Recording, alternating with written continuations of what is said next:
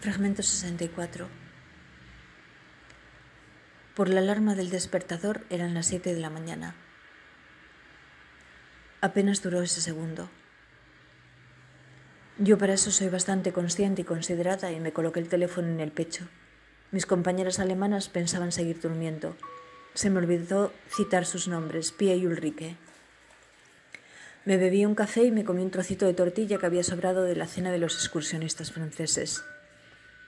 Eran las ocho menos cuarto cuando salí por la puerta del albergue, pero no quería irme sin haberme despedido de Anabel, porque esa mujer se comportó conmigo excepcionalmente y la guardé para darle un abrazo y las gracias. La despedida fue muy emotiva, la más emotiva del camino. Eché a andar en dirección a la parada del autobús en Gelitoki Plaza. El mercado comenzaba a funcionar. Estuve esperando hasta que llegó un vehículo, pero el conductor me dijo que hasta una hora más tarde no pasaba ninguno en dirección a Bilbao.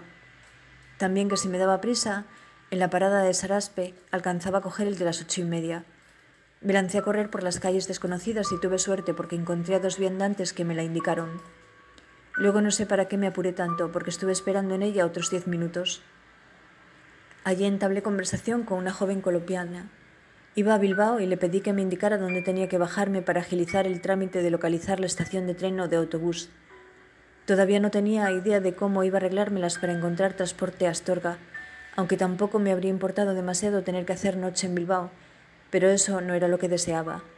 A ella se la veía que no le entusiasmaba la idea de prestarme ayuda.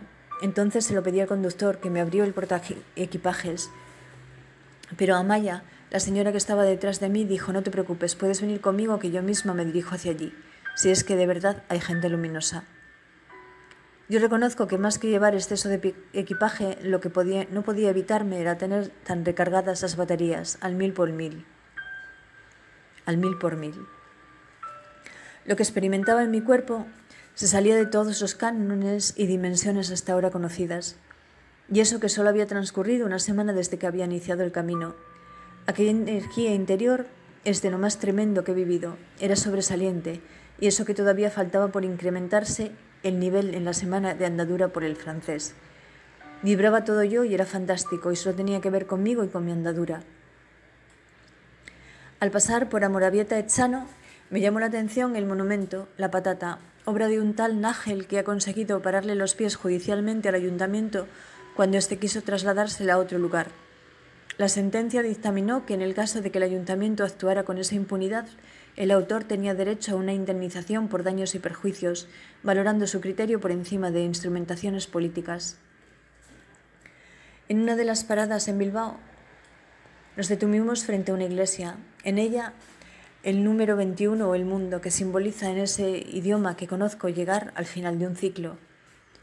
Seguía a Maya como si fuera un cordero. Para hacerme con mi billete del metro de Bilbao recabamos la atención de un guardia de seguridad, puesto que ella tenía tarjeta.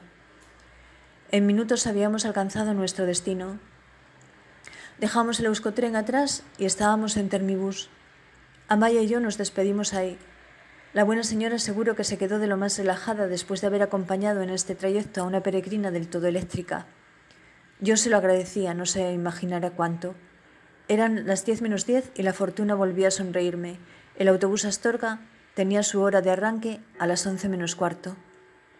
Es que ni medido lo mío. Pagué cerca de treinta euros por este nuevo billete y me fui en busca de un café.